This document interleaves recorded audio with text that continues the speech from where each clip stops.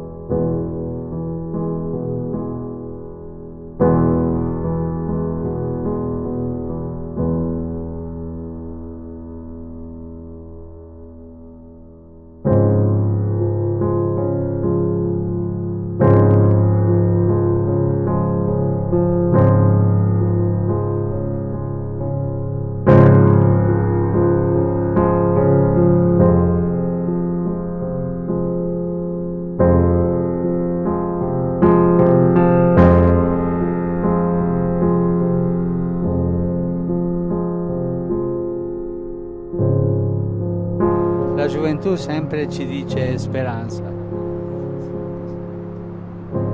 Speriamo che i giovani ci dicano qualcosa